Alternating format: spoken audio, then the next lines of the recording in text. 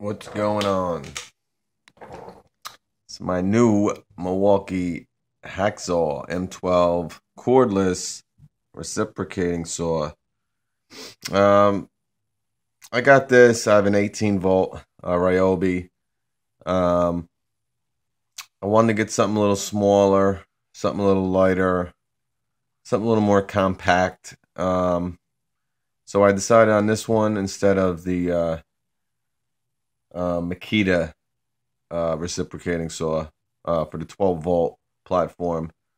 Um, like I said, I got Milwaukee and I got Makita. Um, I just decided Milwaukee. I love the reviews on it. I like the way um, it looks. I like the way you know it's not your normal uh, recip saw. You know that's long with the trigger. This is almost you see here. It's almost like a drill. Instead of it continuing straight, it comes shoots up, and you got this right here. You can press down on, and it's just the way it really fits in your hand. Um, I've seen some people on YouTube with um, a lot of uh, experts and all that stuff, uh, you know, who do these uh, reviews, real nice reviews on these, you know, these top notch, uh, nice production type videos. So I, I like the way it looked and the, the way they were using it and everything. So this ain't opened. I just got it from Home Depot. I think it was like 89 bucks. Uh, I think you can get the Makita for 75. So, you know, I decided to spend the extra 10 bucks. And with Milwaukee, you get the five year warranty.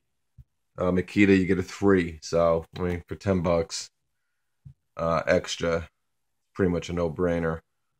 Um, and the reviews on this, I, I think this is pretty much this and the Bosch 12 volt um, recip saw. These pretty much are the top two on the market right now.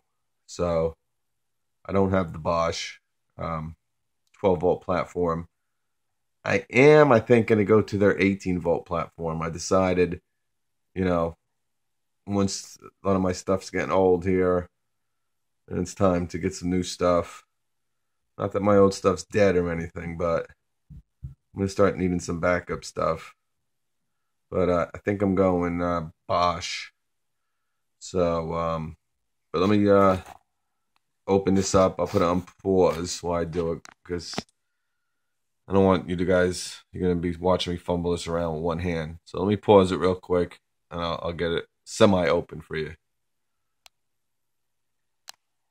Okay, I just opened it. It's weird. There's somebody wrote on a pencil with a pencil inside the box in a couple areas right there. I can't make that out, but this says 0021. So, I don't know. Like I said, got some Home Depot, so you know whatever. Any kind of issues, they take it back pretty easily.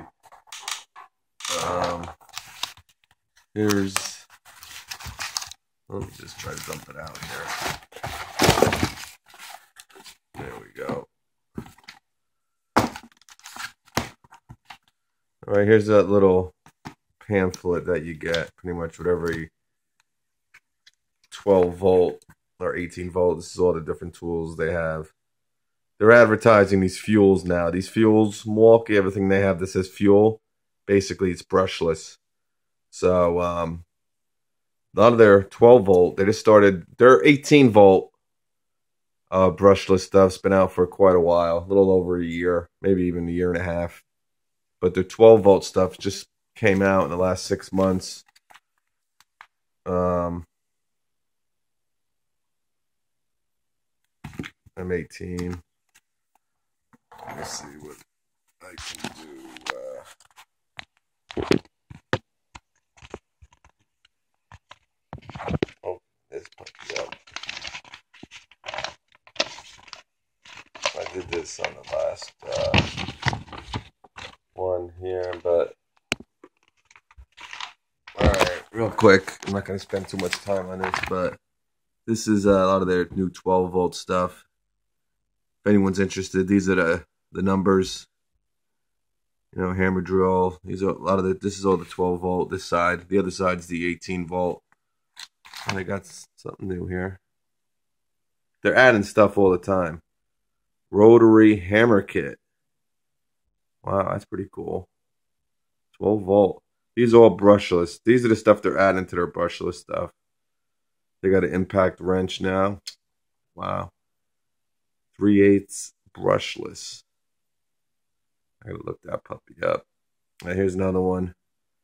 Rotary hammer. This is just basically uh, your non fuel, so it's not a brushless. But this has a one half. This is a 5 8 so I went a little bit bigger with the uh, brushless. But anyway, here's the item I got here, the Hackzall. I wonder if they make a brushless model of this.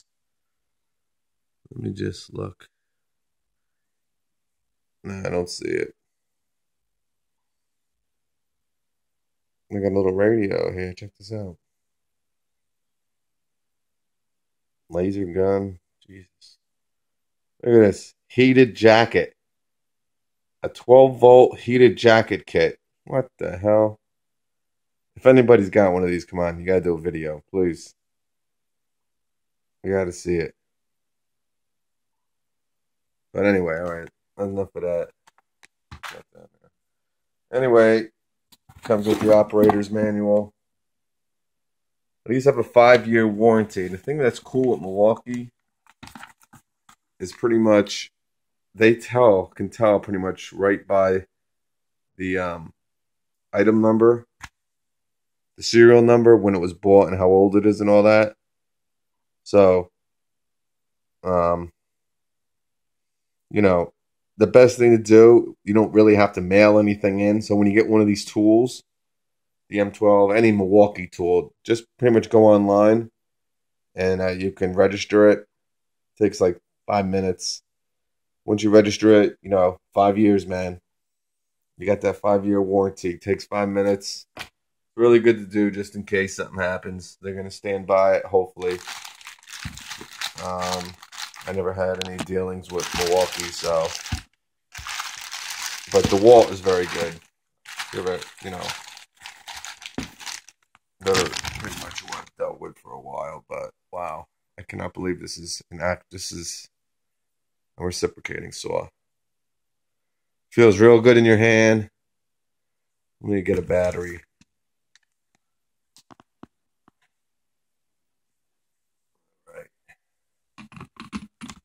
I'm going to load this one in. Goes in. Oh, it has a fuel gauge here. It has a lock, which is cool. You just kick locks on this side. So you push it in. Now you're ready to go.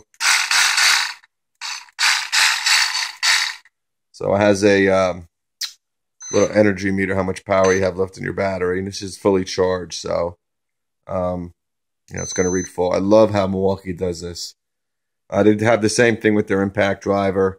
Tells you how much power is left in it and everything, which is cool.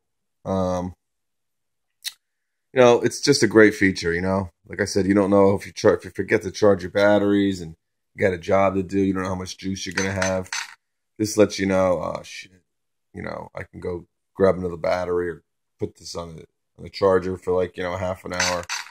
Um, it's a great, great feature because these batteries don't really, you know, there's no way to really know if they're charged or not. There's not like a, a button on them or anything to let you know, you know, how much and, and how much power they have. They're half full, three quarters, you know, three, you know, one third.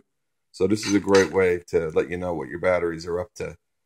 Um, here's the lock. Like I said, you push it in. It's locked. You press the trigger, nothing's going to happen. Push it in. Now you're ready to go. So it feels real good. Um, has a light right here, which is pretty cool.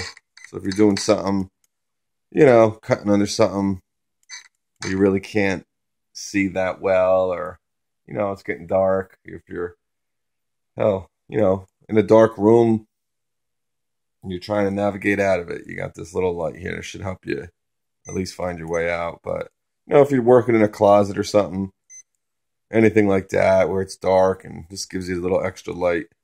Um, this doesn't have the 10 second overlay, it looks like. Which I thought I saw in a video it does, but maybe it doesn't have the blade in. Once I put the blade on, maybe that changes. But uh, anyway, it's it's freaking awesome. You guys gotta. This is a reciprocating saw. I just can't believe it. Feels like it's got a lot of power to it, a lot of torque. So let me put one of these blades on. Just hold on a second, and we'll see what's going. Actually, let me just give you the item number here, wherever those you guys are interested.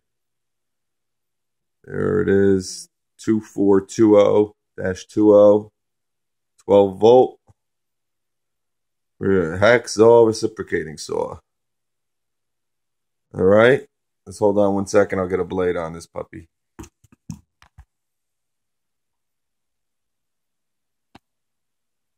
Okay, I'm back. Um, they give what's cool is they give you two blades. They give you a wood blade, and they give you this uh, metal blade to cut metal. You know, metal pipes, copper pipes, stuff like that. Um, just to let you guys know to put this blade on. It's so simple. You see this right here? This little knob here. You just turn it to your right, real as far as you can. You'll hear it click, stick in the blade, and let go. And you're ready to rock. So, um, it's just awesome. I'm ready to cut some some wood here with this puppy. Um, yeah, that light doesn't stay on for 10 seconds on this one. I don't know what's going on.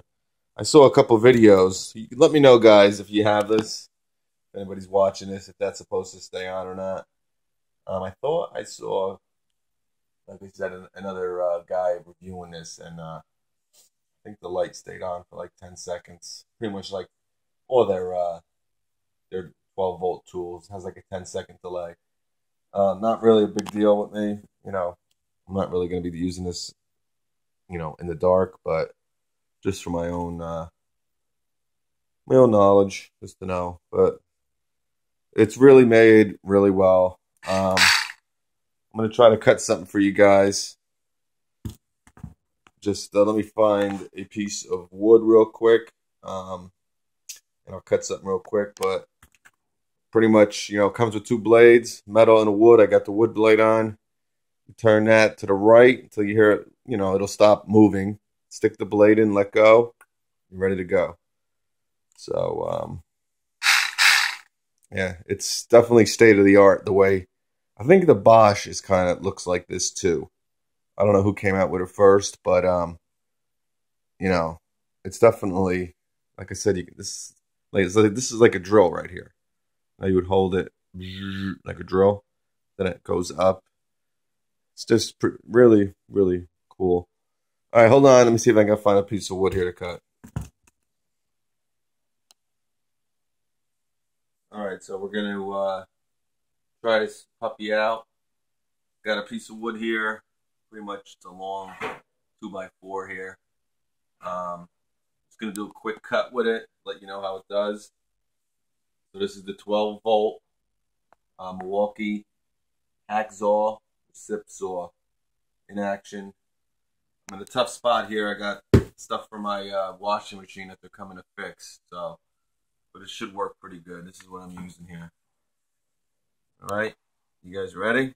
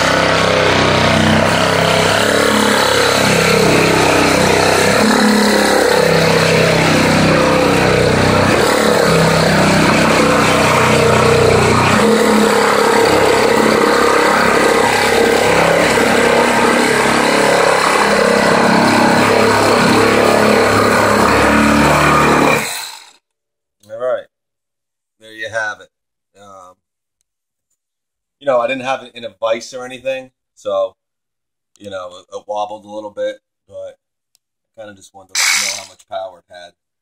It took a little bit longer, like I said, but once once uh, my operator, who was holding the camera, was so nice to hold the piece of wood, uh, the vibration stopped, and it cut it pretty pretty easily. It took all the paint off the blade, but still still looks pretty good. So there you have it. Cutting this pretty much pretty easy, you know. Struggled just because it's not properly uh, the wood. I have it laying on my mower here. As you can see, it's a big long piece, probably a 10 foot piece, and I don't have it in a vise or